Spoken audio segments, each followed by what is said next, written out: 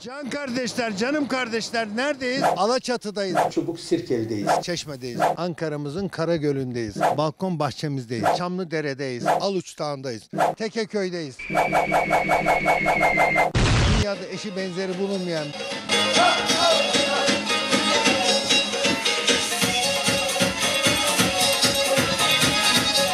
Hocam yemin ederim ben öyle saklanamam. Oynuyor bunlar oynuyor. Gel gel.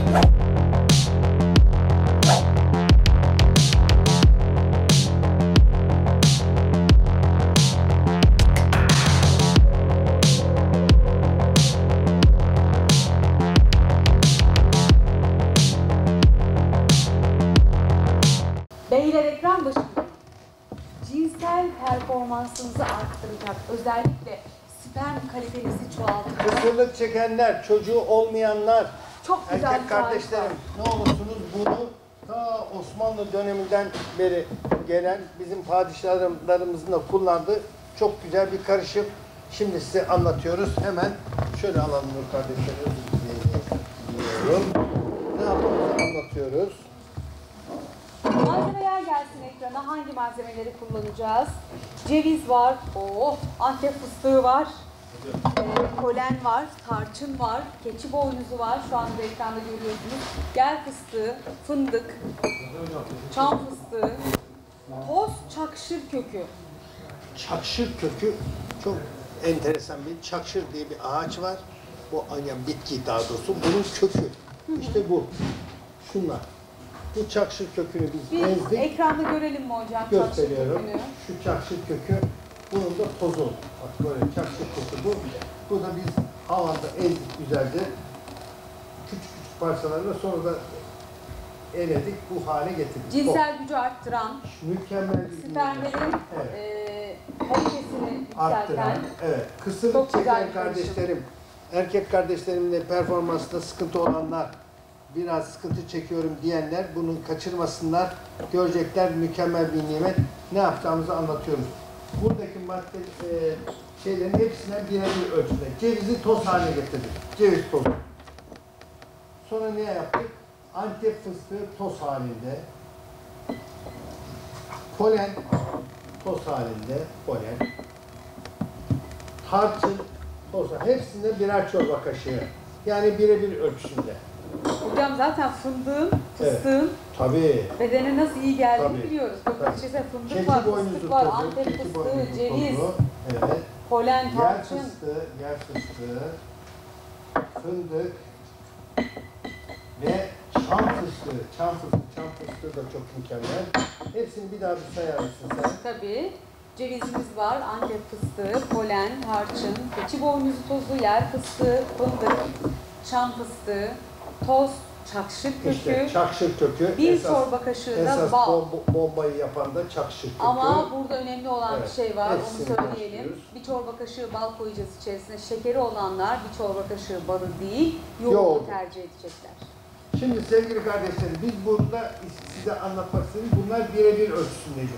Eğer siz istiyorsanız bunu 100'er gram yapıp yaptırabilirsiniz. Toz halinde yaptırdınız. iyice karıştırın bunu güzelce. Bu karışım buzdolabının kapağında dursun.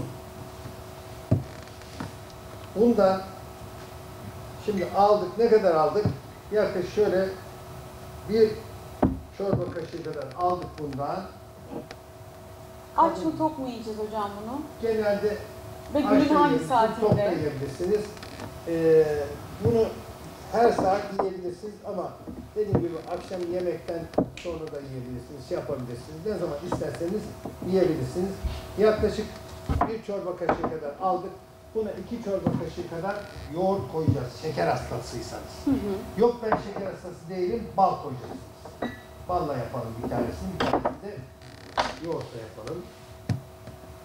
Ha, bu inanılmaz bir mucizedir.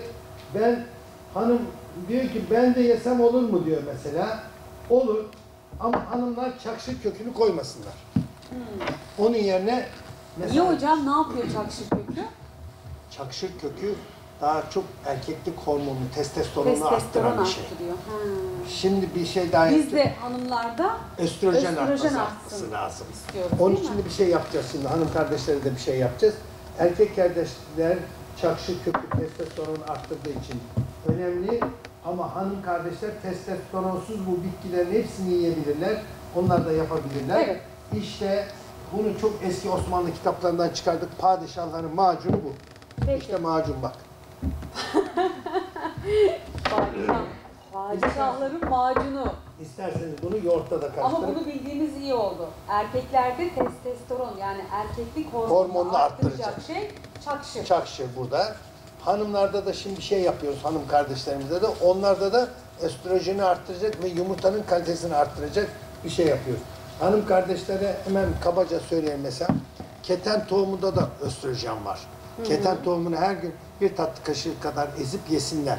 Hem kolesterolleri hem şekerleri düşer hem de östrojen hormonları atar kendilerinde sıkıntı varsa, kısırlıkla ilgili sıkıntı varsa, başka cinsel Ee, sıkıntıları varsa Kadınlarda yumurta kalitesi artacak. yumurta kalitesi artacak, östrojen de yükselecek. Östrojenin yükselmesi de önemli çünkü östrojen, östrojen az olunca cildin kuruyor. Her şey, canınız saçın bir şey istemez, şey canın yapmaz, bir şey istemiyor. hayattan zevk Bir almazsınız. kere yani gerçekten hani yaşı genç olanlar için söylüyorum belki ileri yaşlı tamam ama cinsel hiçbir isteğin olmuyor değil Aynen, mi? aynen. Orada ne ortaya çıkıyor? İşte östrojen yokluğu. düşük.